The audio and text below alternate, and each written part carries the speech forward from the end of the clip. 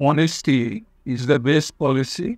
খুবই সত্য কথা How do you do? I think you are well by the grace of Almighty. Welcome to my channel.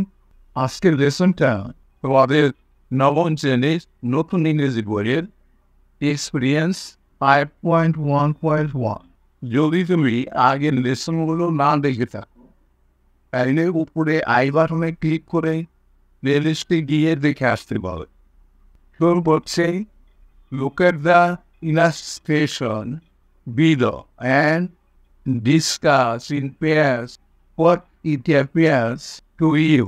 Then share your thoughts with the class. Bangla বলাগুলো বিশেষ ছবিটি দেখো এবং ছবিটি দেখে তোমার কি মনে হয় তা জোড়ায় আলোচনা করো তারপর তোমার ভাবনাগুলো শ্রেণীতে শেয়ার করো দেখো, এখানে একটা ছবি দেখতে পাচ্ছি আমরা।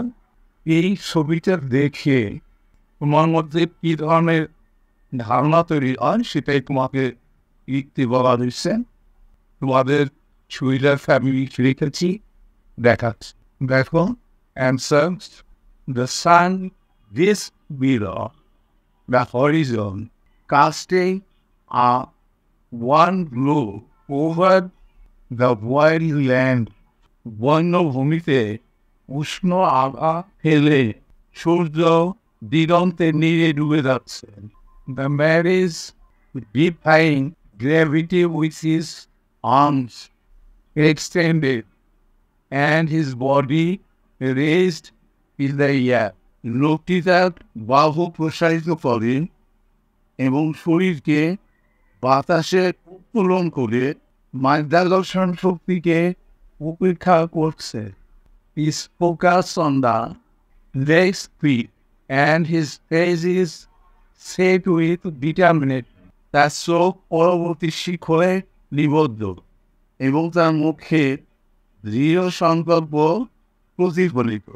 This image is a powerful symbol of overcoming hardship এই চিত্রটি বাধা অতিক্রম করার একটি শক্তিশালী প্রতীক the distance between the two trees represent the obstacles we must overcome and the man's successful landing represents our victory over the challenges we face.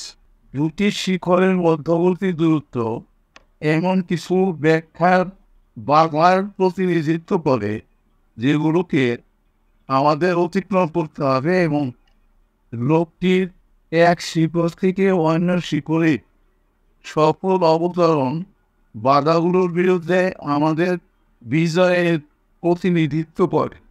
The match lead represents our ability to welcome these obstacles and to bridge the gaps between where we are now and where we want to be.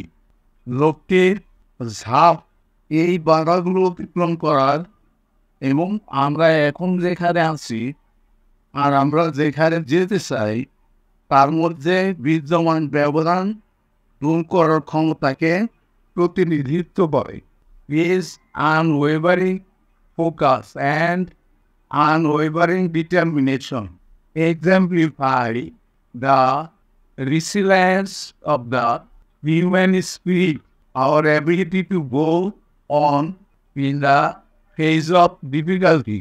তার অটল মনোযোগ এবং অটল সংকল্প মানব আত্মার দৃঢ়তার উদাহরণ দেয় অর্থাৎ আমাদের এগিয়ে যাওয়ার ক্ষমতা এরকম লিখলেই হবে অথবা তুমি তোমার মনের মতো করে অন্য গল্প লিখতে পারো আজকের লেসনটা কিন্তু এখানেই শেষ হয়ে গেল অবশ্যই তোমরা পরবর্তী লেসন দেখবা সে